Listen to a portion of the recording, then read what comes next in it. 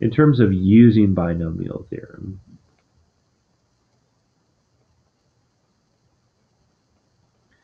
applications of this would be things like could you take x plus 2 over x squared to the 100th power? And we could take this and say that, okay, this is going to be equal to uh, x to the 100th and then 2 over x squared to the 0. And so this would be 100, choose 0. Or this would be 100, choose 1. And then x to the 99th, and then 2 over x squared to the first, and then plus 100, choose 2, x to the 98th, and then 2 over x squared to the second. Now we would go plus. Eventually, any of these middle terms look like a 100, choose j, x to the jth power. Oops, sorry.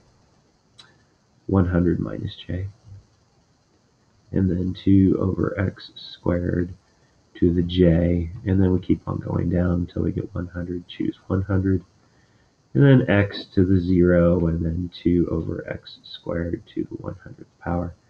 And what you would do with you know problems of this nature is, well, one, can you just simply write it out correctly, a direct writing of uh, the binomial theorem, which is what you see right here. Another is to kind of go through here and say, could you figure out uh, particular, like if I asked for the, say, I want the 13th term. Well, the first term, the very first term has that as a zero. The second term has a one. The third term has a two. So that would tell me that the 13th term is going to be a x and a 2 over x squared. This would be to the 12th term. Now the sum of these two, that's a, this will be 100 minus 12, which is going to be 88. And so this would be 100, choose 12. And you could simplify it, and you would get things like, okay, this is 100 factorial over 88 factorial, 12 factorial, x to the 88th power, and then 2 to the 12th power divided by x to the 24th power equals, you know, do some simplification on this particular term until I get some particular formula for x.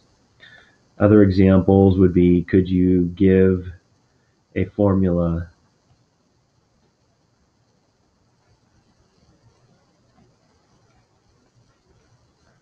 for the x to the k? And so what I'm asking now is not x to the j, but if I would simplify these all things. And so the way you would do that is you would take the the j, so if we would simply say, okay, if this is a j,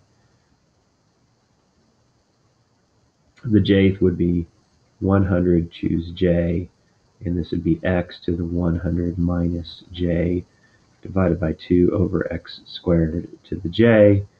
And that particular thing is going to be so we would have a 2 to the j power, a 100, let's leave it as a choice.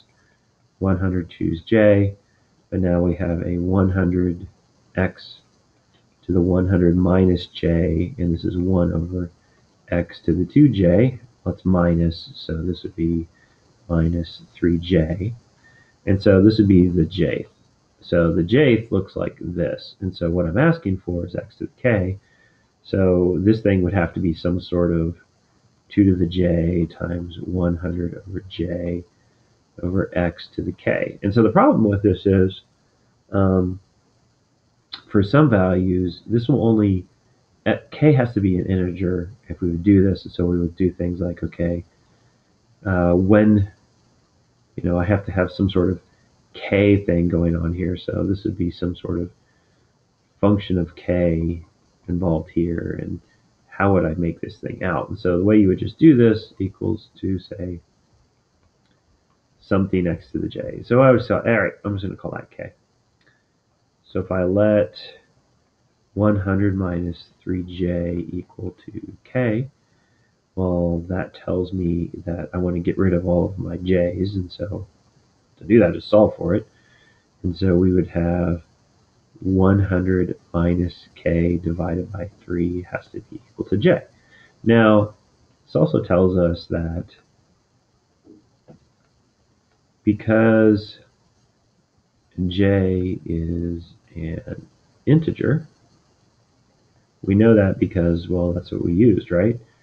We had, you know, choose 0, choose 1, choose 2. That's what that was our j's as we were going through here. And so, because it's an integer, that tells me that 100 minus k over 3 um, has to be an int.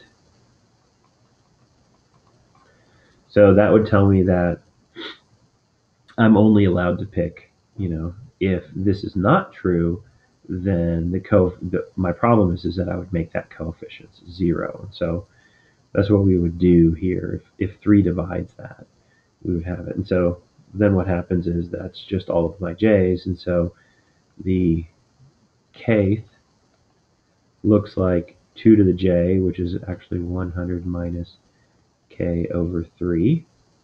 And then 100 choose j, which is 100 minus k over 3. And then I would have x to the k.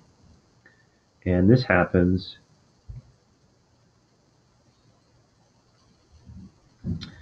this happens if 3 divides 100 minus k.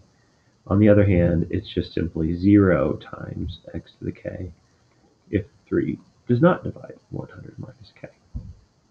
And so we could write it out like this, which, I don't know, it's not any prettier, but it does get us a, a closed solution to talk about polynomials of particular forms. And you'll notice that if I write this thing as a polynomial, what's happening is it starts off as x to the 100 and then it goes down by 3.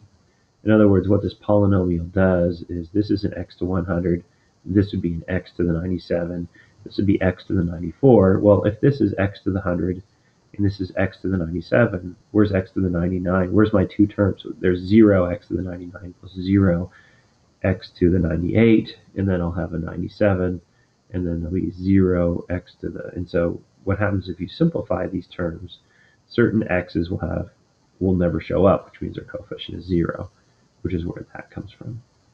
So the applications of can you plug things in appropriately to the binomial theorem? Could you spit out particular portions of the binomial theorem? Could you interpret what they mean in terms of the binomial theorem? And then also be able to use Pascal's triangle. This, you know, the Fibonacci numbers was just something to be interested in and be able to work with those. All right, so that's the end of chapter six.